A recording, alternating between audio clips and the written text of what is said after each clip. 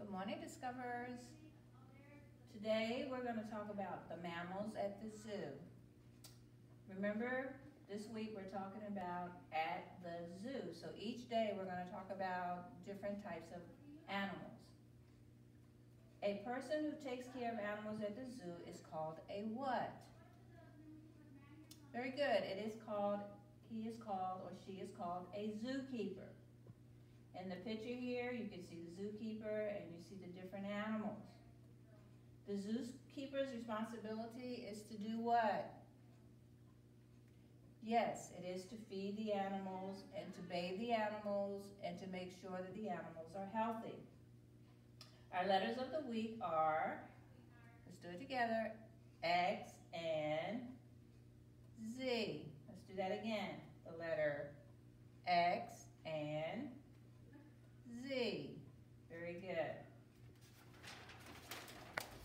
Yesterday we learned about two different zoos. We talked about the first zoo, and the first American zoo was where?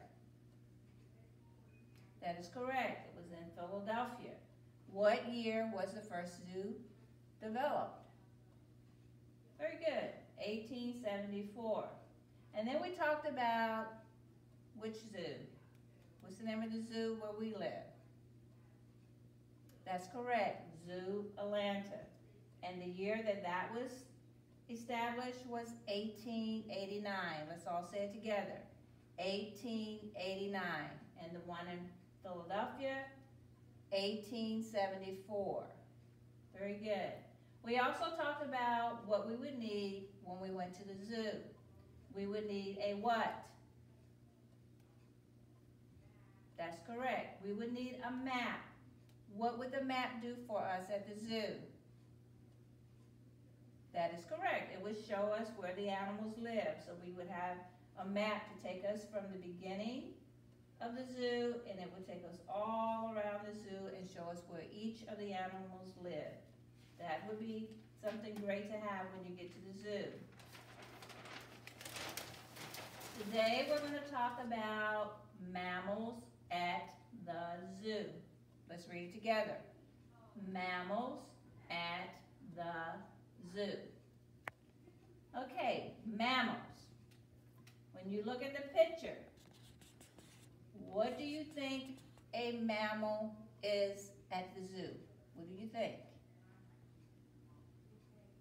Okay, mammals have hair or fur and they provide that means to feed their babies milk. So that's how you know mammals from any other animals at the zoo. They would have hair or fur, and they feed their babies milk. In the picture, there are different mammals at the zoo. Let's name a few of the animals that live at the zoo that are mammals. Number one, bear. Everybody say bear bat. Everyone say bat. Squirrel. Everyone say squirrel. Lion. Dog. Deer. Wolf.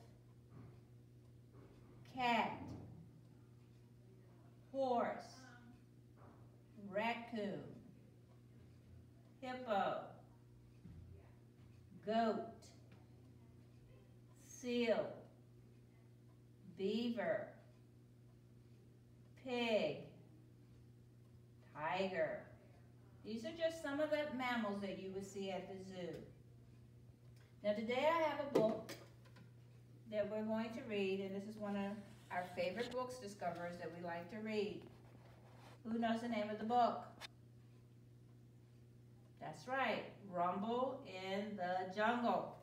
And this book has a lot of animals in it that you may see at the zoo. So everyone pay attention because we're going to read this book.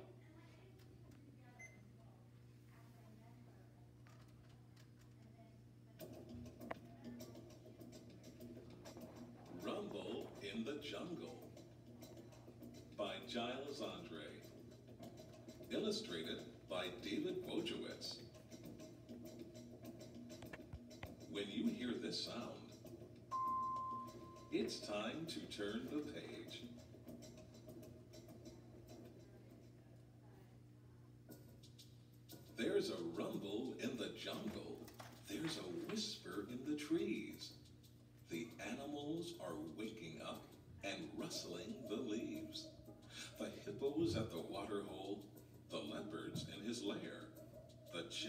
Chimpanzees are chattering and swinging everywhere.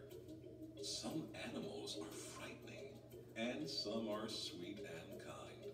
So let's go to the jungle now and see who we can find.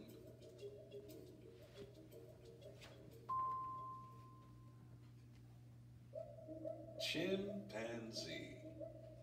It's great to be a chimpanzee, swinging through the trees. And if we can't find nuts to eat, we munch each other's fleas.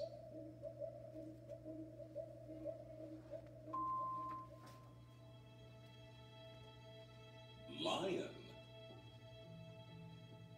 The lion's the king of the jungle, who quietly sits on his paws.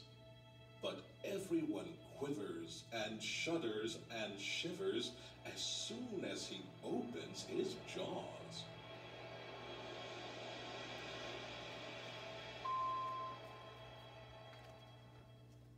Elephant.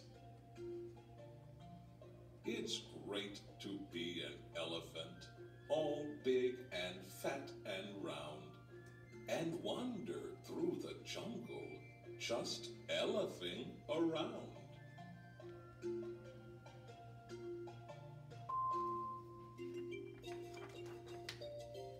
Zebra.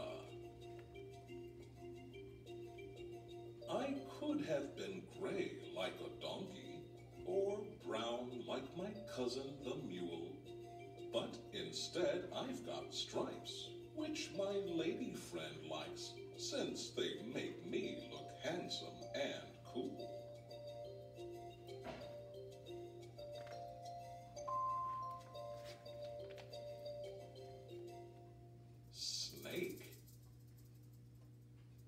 The boa constrictor's a slippery snake who squashes then swallows his prey. He knows that it's not very friendly or kind, but they do taste much nicer that way.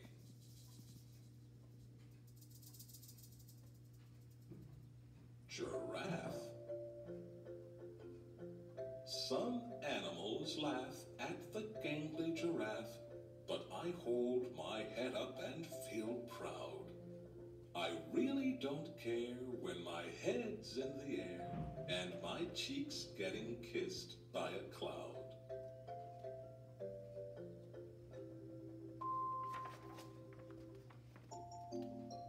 Hippopotamus. Hello, I'm a big happy hippo. I sleep in the sun till I'm hot. I'm not sleeping, I mooch in the mud, which hippos like doing a lot. Crocodile.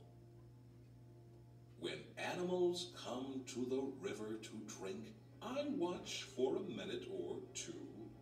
It's such a delight to behold such a sight that I can't resist chomping a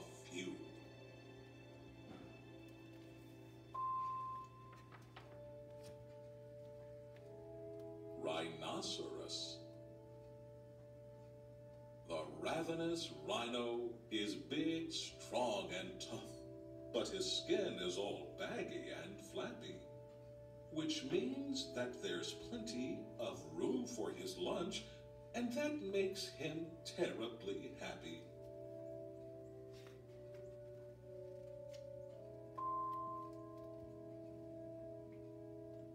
Gazelle. No one can run half as quickly as me, the galloping, gorgeous gazelle. I can leap up so high that my horns touch the sky, and I'm awfully pretty as well.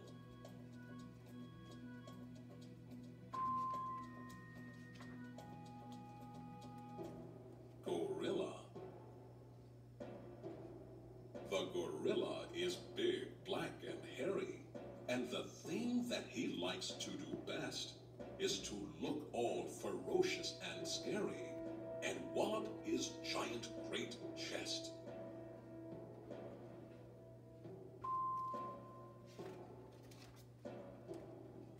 Leopard. If you meet a hungry leopard prowling through the night, make sure you call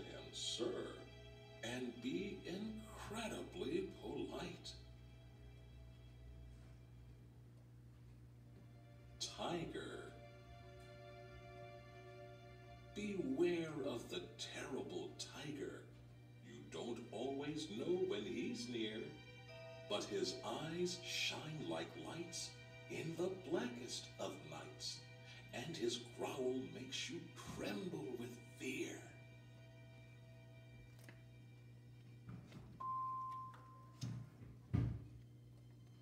The night has started falling, but the jungle never sleeps. The vultures circle slowly while the leopard softly creeps. And if you listen quietly, you might just hear the growl of a hungry pair of panthers who are still out on the prowl. The lions and their little cubs are sleeping in their den. So let's leave them till tomorrow when we'll visit